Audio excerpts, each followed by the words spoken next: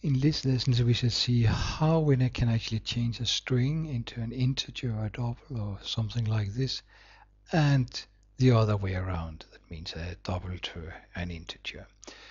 The little example I have prepared is about a GUI and inside the GUI we have a price and then we want to add some Danish VAT which is of course extremely high. So I cheated a little bit already made a project and the class VAT. So what I want is that when I'm running this and I'm typing in the price here, and then when I calculate, click this calculate button here, then it will actually calculate the price and the VAT added to this price. So it's the full price of the product. So I need to get some action behind clicking on this one. Here. Now, first of all, I uh, need to read something in. I need to read the price in from the JTextField.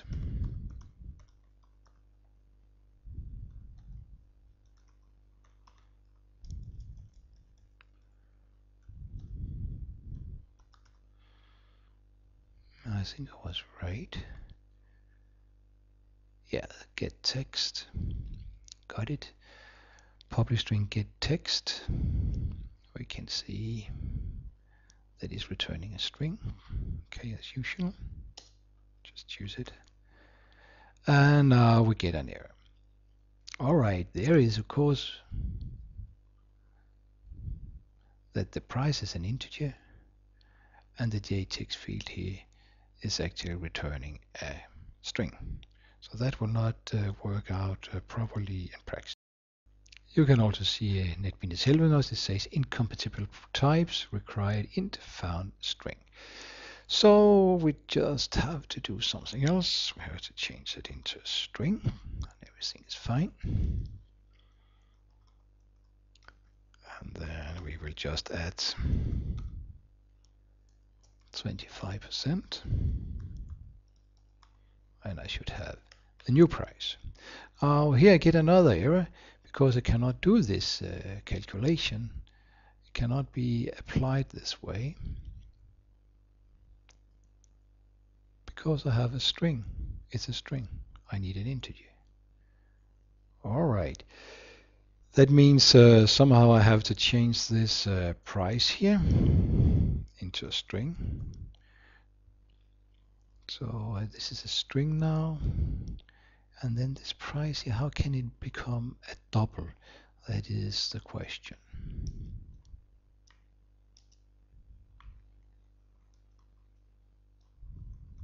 Take the price here.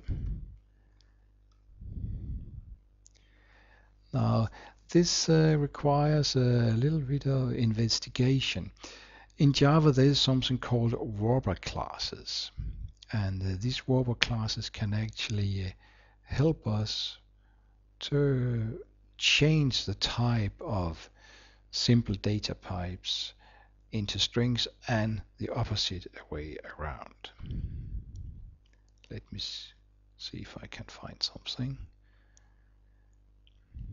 That's not the one I want. Here. After a little bit searching around, I can actually find in the documentation a class double and this class double uh, has some uh, methods here. And we're going to use these methods. Scrolling a little bit down I can see there's one method here called pass double and uh, looking at this can see actually it, takes a string as a parameter and then it is uh, returning a double. So uh, this method looks uh, very interesting and I think we will just use this method here.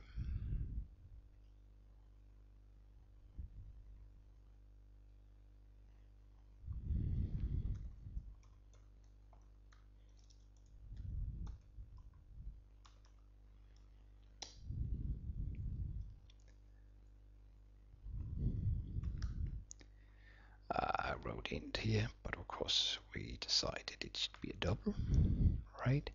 So now I got the price. And then I also calculate the price. So the only thing I now do is actually to put the price back to the JTextField. I can also again now I need to go in and find a little bit about this JTextField here if there are some methods that are interesting.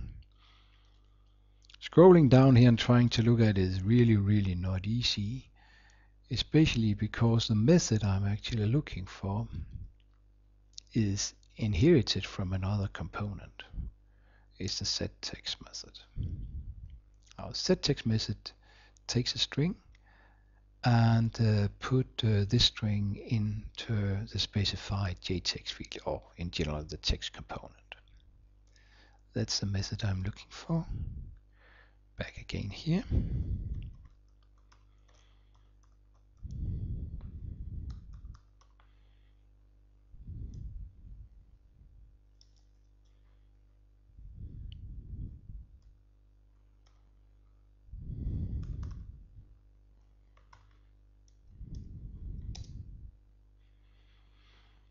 I should not be price string, it should just be the price, like this.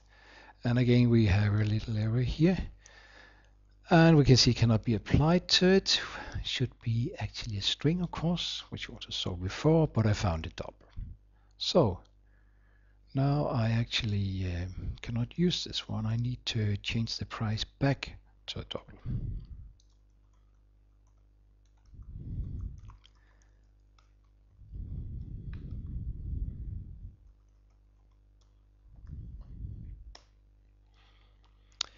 Well, there is one method here called toString. And looking at it, we can see that string takes a double as an argument and returns a string. So this is the method I will use right away. Like this. And then we just have to change this one here. All right. Let's see if we can uh, run this program.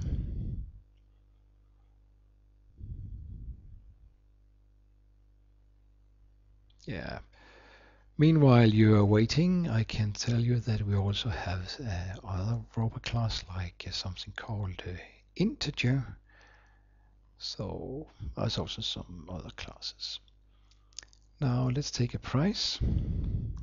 1000 good Danish crowns, not euro. I will click on calculate and we can see it has added 25%. Uh, so this one here works perfectly all right. Now there are other ways of, of doing this. A simple trick here could be, let's copy it, I'll show you something else.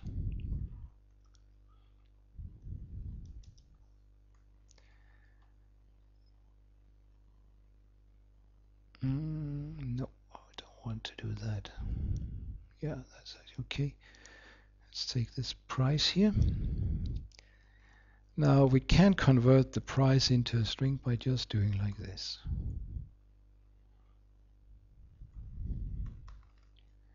If we do like this, this uh, setText will automatically interpret it, this one here as a string. So we run a program again just to verify.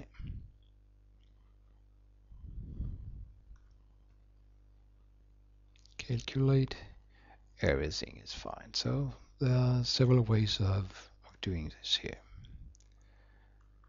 So uh, that actually ends the story of how to convert a number, any number, into a string and vice versa. That means we have ended the string number conversion and uh, now I think uh, you are ready to do the next assignment, calculate the GUI. And good luck with that.